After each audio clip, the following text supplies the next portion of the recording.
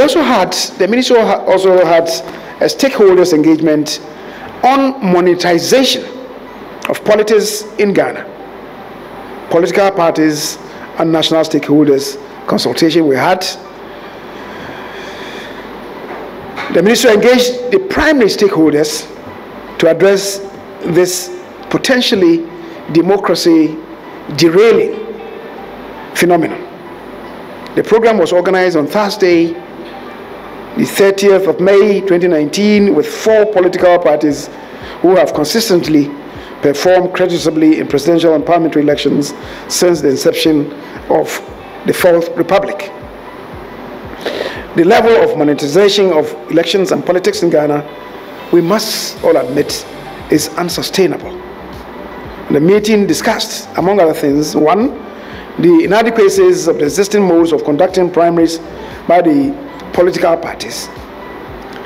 Because let's face it, there's nowhere in the established democracies where, at the end of a tenure of one parliament, the process of choosing parliamentary candidates is reduced to an all-comers game, which people from within the country and from without the country descend on constituencies and say to the electorate, we are ready to remove the incumbent member of parliament and introduce ourselves. And when you ask some of them, oh, there's no development, oftentimes that's the refrain. There's no development in the constituency. I want to be there, the representative of the constituents, and to ensure democracy, uh, to ensure development. I remember one lady that I encountered some time ago said to us that, oh, uh, his, her constituency is, uh, is a poor constituency. The people could not, the parents could not afford to buy school uniforms for them. So if was, she was elected, the member of parliament, she was going to um, um, supply school uniforms to all the primary school um, children in her constituency. Is that the function of a member of parliament?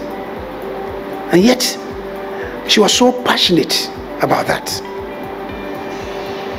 So, going forward, I believe that we need to come together to really provide the, uh, the roadmap to ensuring that as a country and as political parties, we conduct primaries that would select appropriate persons to represent the constituencies and represent the institution of parliament.